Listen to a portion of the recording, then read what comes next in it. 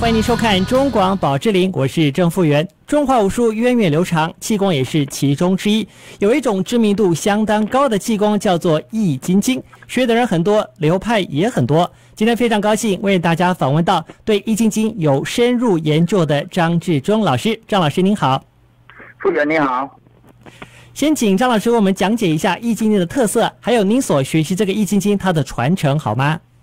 好的，易筋经。我师承于太极通背门第五代张敦熙老师。那易筋经分为静功与动功两部分。整体而言，静功是一种身心灵兼具的修炼功夫。易筋经动功的动作要领，整套功法包含手部的提按、开合、伸紧、拉合、转、握、托、甩。与足部的提翘，这些要求能使经络在松紧之间增加管脉弹性，活络末梢血液循环。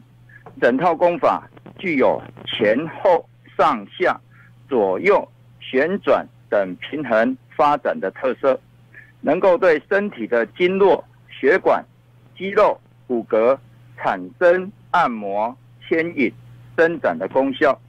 勤练。能够强健骨骼、舒筋活血、劳逸健康，再配合腹式呼吸，更能使体内细胞充氧，增加身体的免疫能力。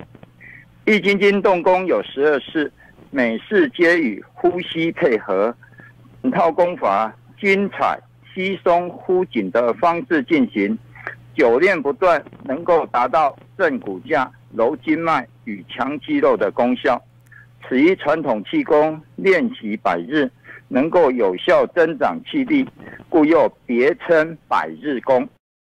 我们就请张志忠老师来为我们示范跟讲解一下部分易筋经的动作。易筋经第四式，颈拳夹腿，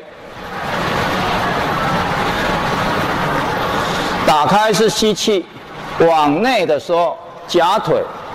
是呼气，两个大腿要往内直的往内夹，所以吸气，吐气，吸气，吐气，放松，用力，放松，用力，放松，用力。在这边提醒大家，练习气功呢，有时候光是听广播跟看影片是不太够的，正好有老师在旁边可以指导你，这样子可以告诉你窍门是什么，可以让你练的效果可以更好。今天非常谢谢张志忠老师，谢谢傅源，中华宝芝林，我们下次见，拜拜。